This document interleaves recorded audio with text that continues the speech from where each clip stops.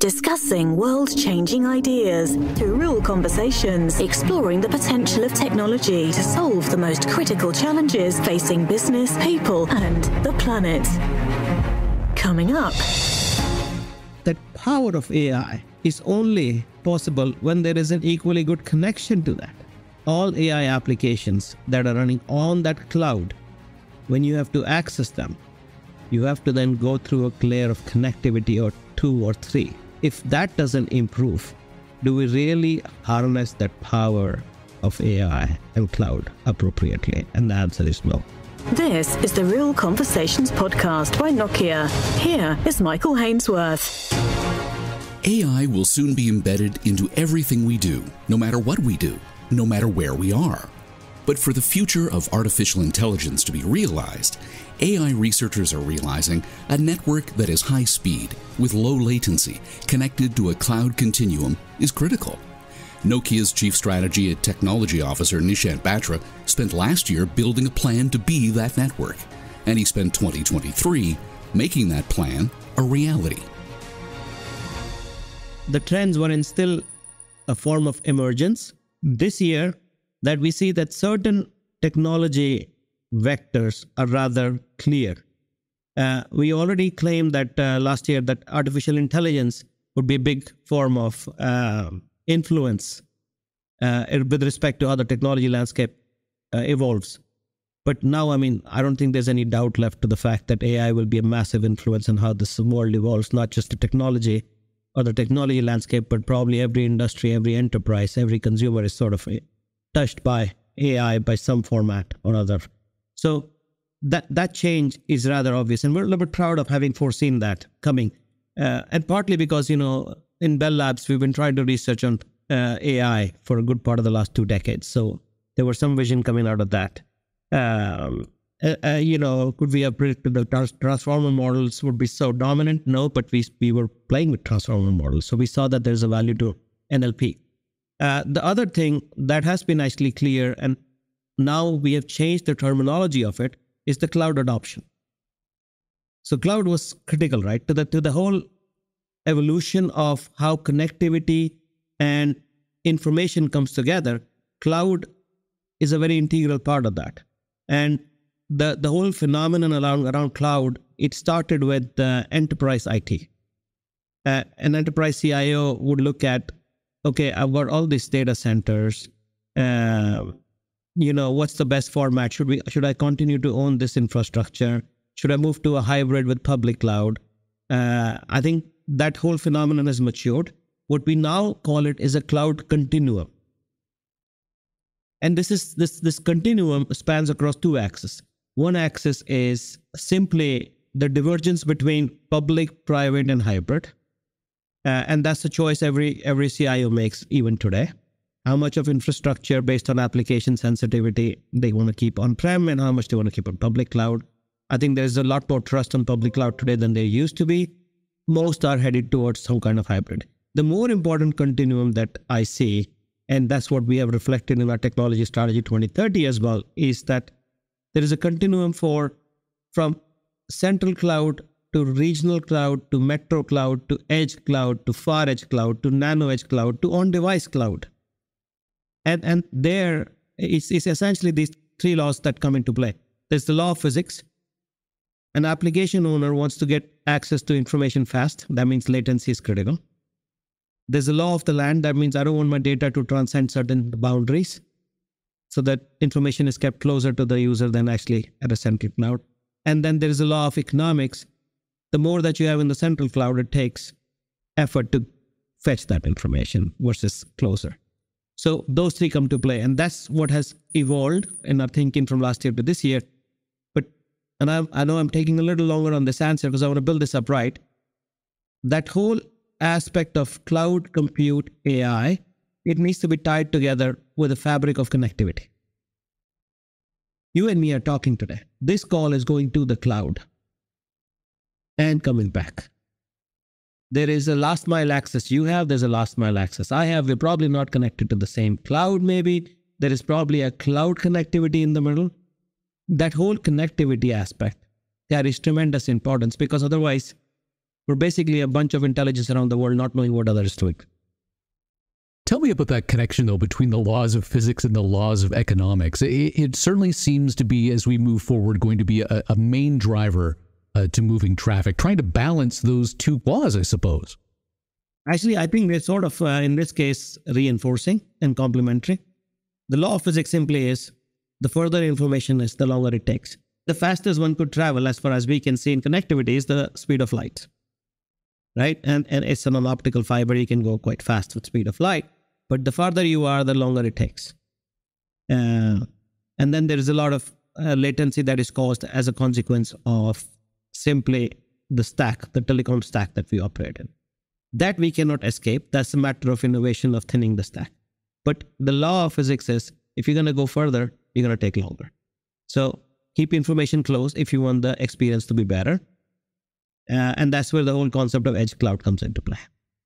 You know, there have been several businesses in this environment called content distribution networks, etc., that have evolved, and that now are now coming to a very simple formation of what's called the edge cloud.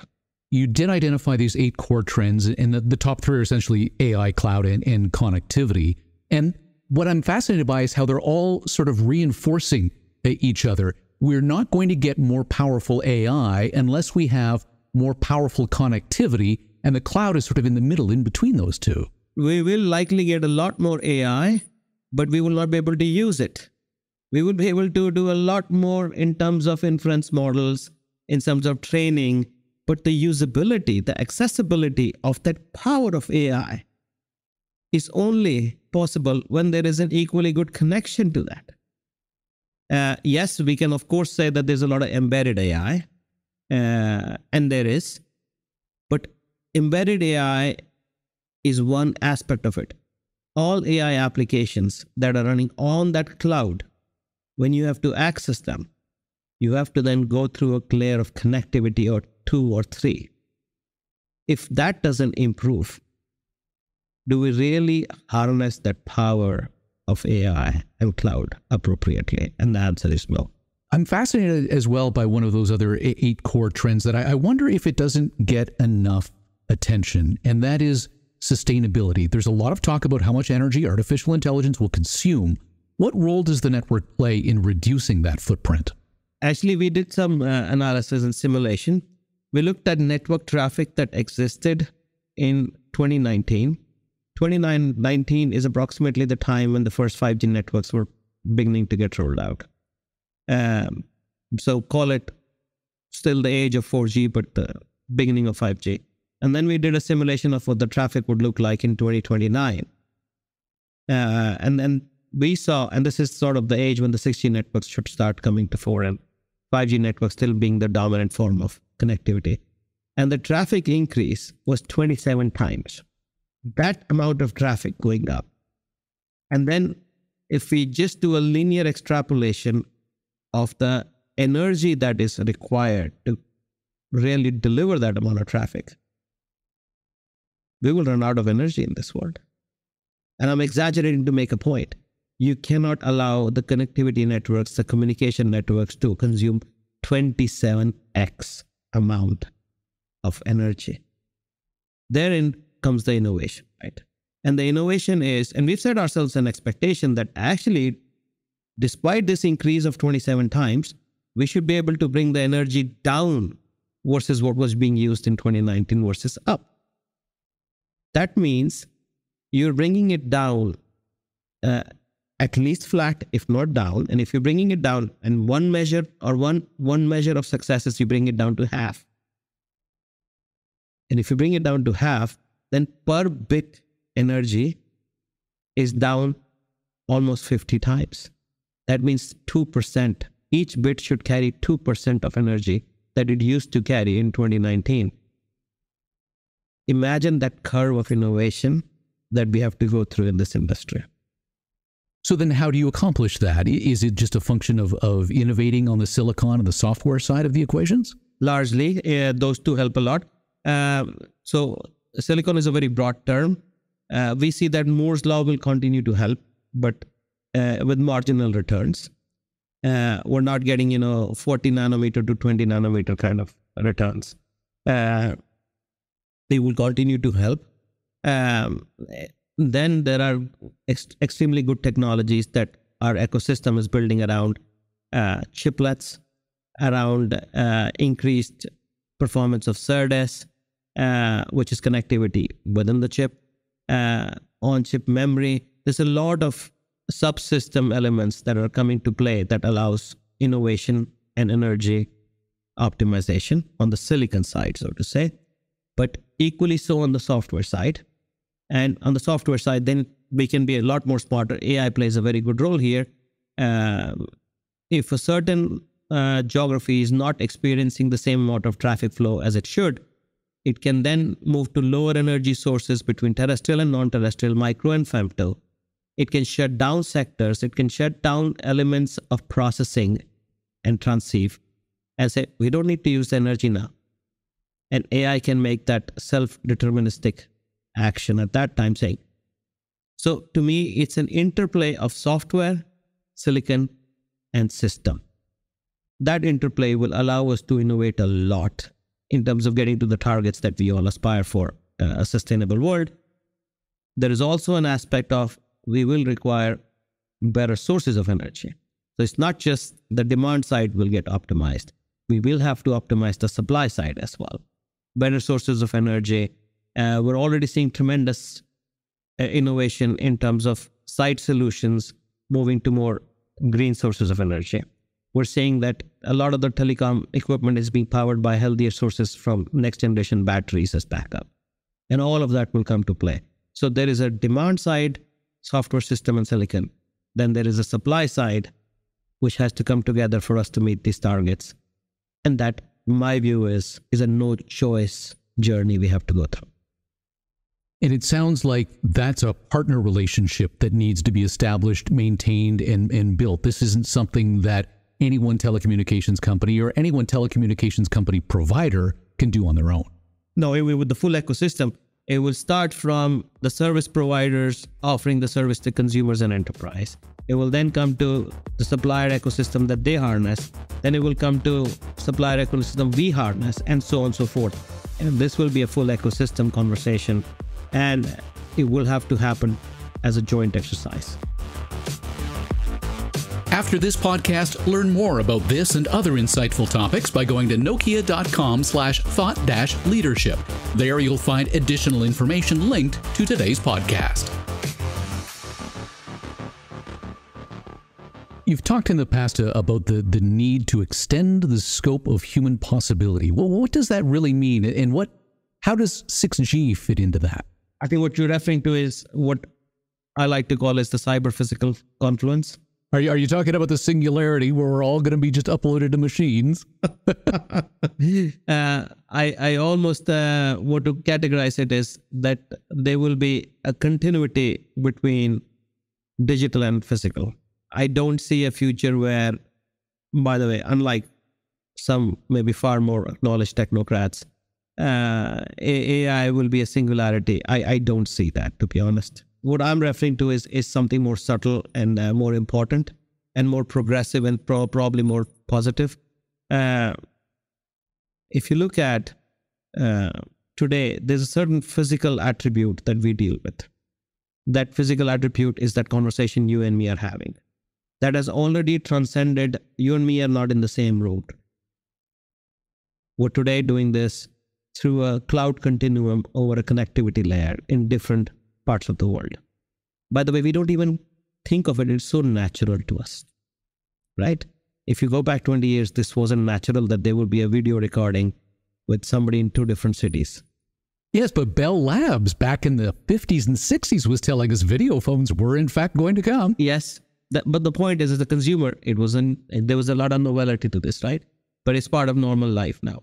Now if we take this cyber physical confluence to the next level, uh, and there are very glamorous examples of trying to operate a, a, an aeroplane or doing a health surgery uh, remotely. Uh, okay, those are fine. But there are some very practical examples also where uh, if you look at a production floor, you can optimize the line capacity through connectivity.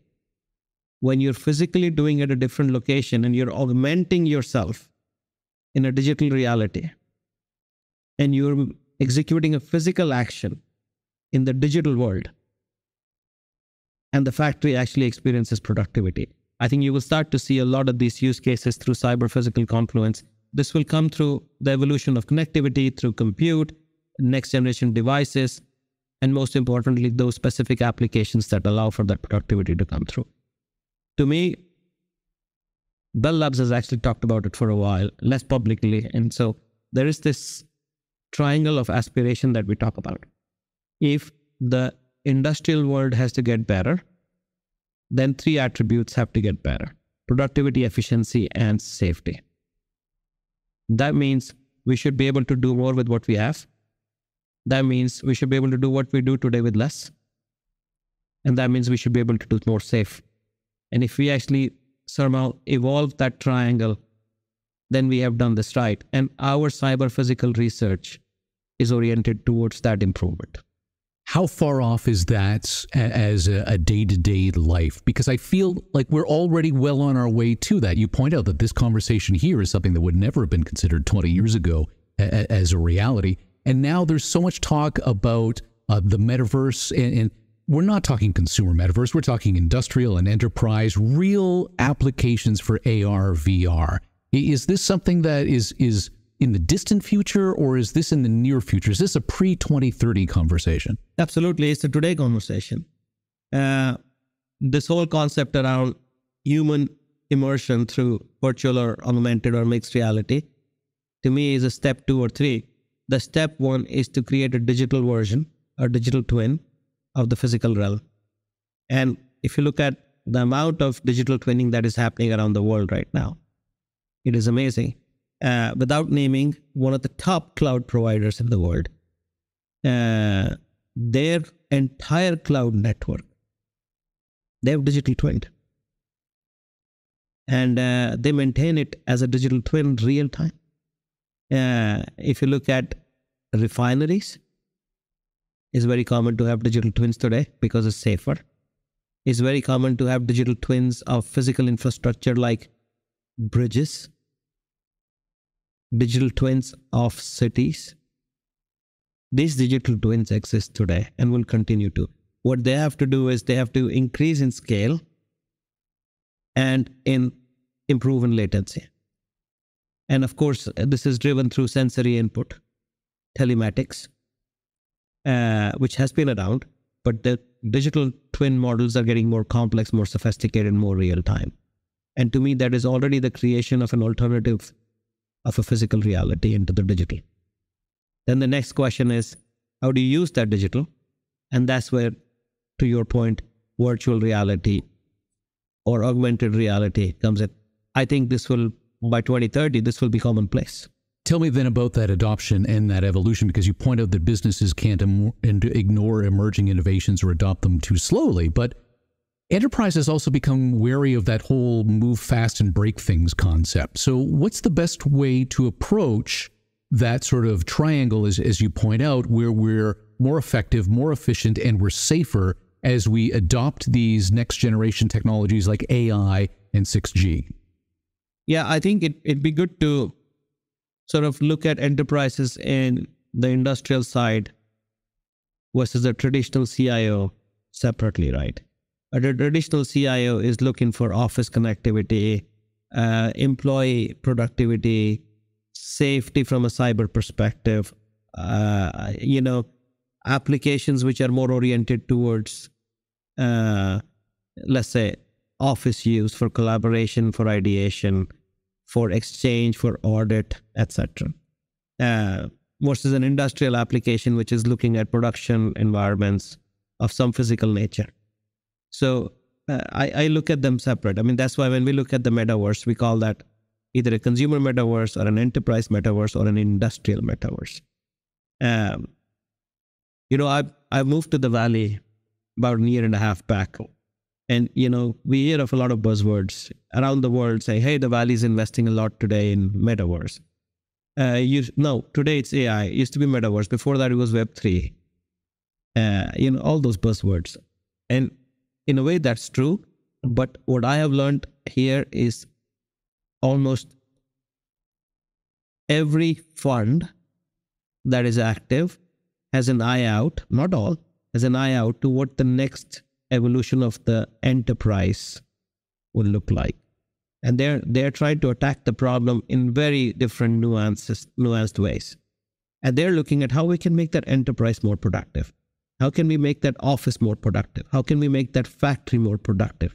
At the end of the day, how can we make that supply chain more productive? That will create the productivity of this world.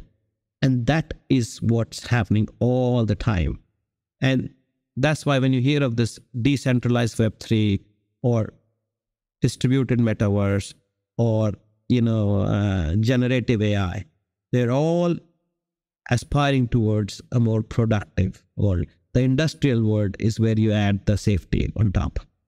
Before our time together is is over, you sort of touched on this as, you mentioned that you know you, you moved to the valley about eighteen months ago or so, and and even earlier in the conversation, sort of talking about the big thinkers in the space uh, and how these are people who are talking about far flung ideas that may be 50, 100 years away or, or so.